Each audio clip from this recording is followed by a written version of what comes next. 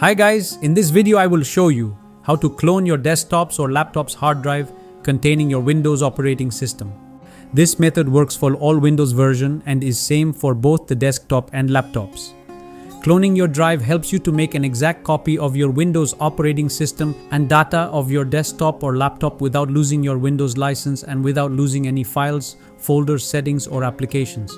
Cloning is usually done when you want to upgrade your storage from hard drive to SSD to improve speed and performance or upgrade your smaller SSD storage to a larger SSD storage. This method works for all Windows version and is same for both the desktop and laptops. For this you are going to need a SATA to USB connector to connect the external drive to the desktop or laptop and you can easily purchase this connector online. You won't see the SSD drive when connected, like here in my PC only the hard drive is visible, that's because you have to allocate a drive to the SSD.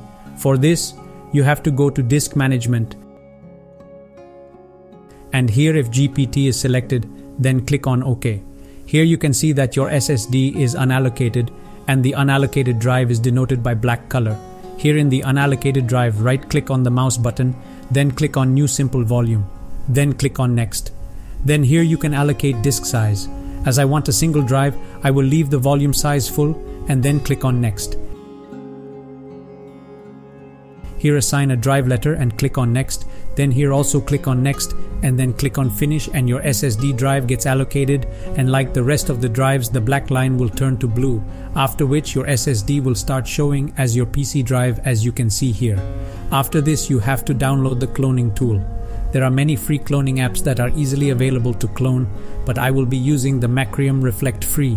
For this we have to go to the Macrium Reflect Free page whose link you will find in the description below. Then download Reflect 8 free. Then open the downloaded installation file and click on download.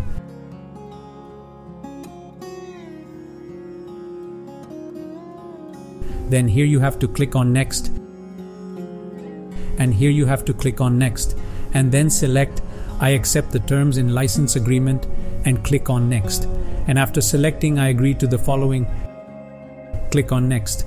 Then if you do not want to register, uncheck this and then click on next.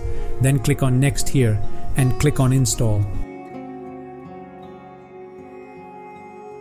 After installation completes, click on finish and Macrium Reflect opens up. As I only want to clone the drive with the Windows operating system, I will uncheck all the other drives. Then click here on clone this disk. Then click on select a disk to clone to and select the drive you want to clone the Windows drive to. Then click on next and then click on finish. Then click on OK and you will see a warning that your drive will be overwritten. So here you have to select this and click on continue. After which your cloning starts. This process takes time to complete, which depends on your data size.